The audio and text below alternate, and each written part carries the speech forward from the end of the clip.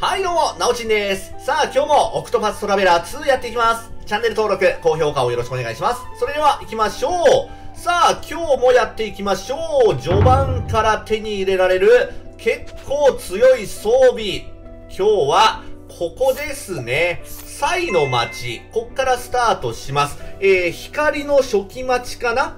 うん、初期村だと思いますけども、こっからスタートします。で、取りに行く際には、ぜひこれを準備しておいてください。エンカウント半減、そして、えー、逃げる成功率アップ。この2つですね、えー、レベル15ぐらいになると取れますので、えー、これを2つを取ってから、えー、ゲットしに来てください。では、サイの町からスタートしましょう。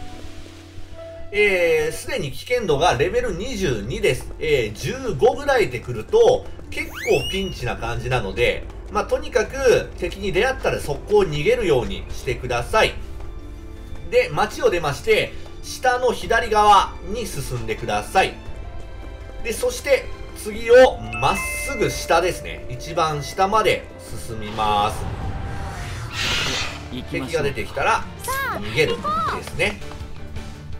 んで、この下、えー、ここからが、レベル45です。えー、東区国茶道当たってる？まあ、そんな感じだよね。危険度45なので、こっからの敵はめちゃくちゃ強いです。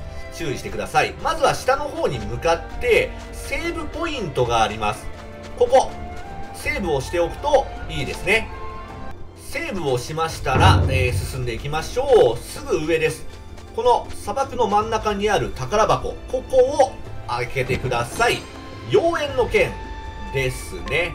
えー、この妖艶の剣、えー、結構強いです。え、ー、と、物理攻撃力は195、まあ、200ぐらいなんだけども、属性攻撃力が300あります。属性攻撃力300、これはなかなか高いですね。で、さらに、えー、装備の効果として、非属性の攻撃の威力がプラスされる。うん。まだ俺はそこまで必要になったことはないんだけども、おそらく相当強いです。で、取りましたらば、えー、またセーブしてください。うん、一応セーブしたがいいですね。で、セーブをしました。で、次の場所に向かいます。右側に向かってください。敵はもう完全に勝てないので逃げましょうね。で、もしもやられたとしても、えー、またセーブポイントからスタートなので大丈夫です。まあ、とにかくここ右に向かってください。えー、そうしますと、これですね、分かりづらいんだけども、ここから奥に行けます。ここ、静かの洞窟。静かなじゃなくて静かのなんだよね。で、ここ、えー、セーブポイントありますので、セーブをしていきましょう。セーブをしましたら進んでいきます。えー、ここも装備品が1つあります。えー、他にもね、宝箱があるんだけども、装備は1つだけですね。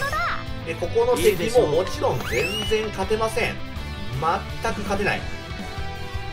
なので、えー、相手にしないように逃げ回ってください。ちょっと今回あんまり逃げれない。逃げれる時は一発で逃げれるんですけども、まあそういう時もあるでしょう。えー、ここですね。この下のところの奥に宝箱があります。これですね。はい。神秘の探検です。えー、これが、性能がこんな感じです。えー、物理攻撃力が266、属性攻撃力が266、とんでもない性能ですね。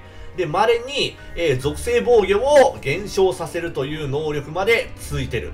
とんでもない装備がここにあります。序盤から取れますので、ぜひ取ってみてください。はい、ということで、またやっていきます。チェックをよろしくお願いします。そして、チャンネル登録と高評価もよろしくお願いします。それではご視聴ありがとうございました。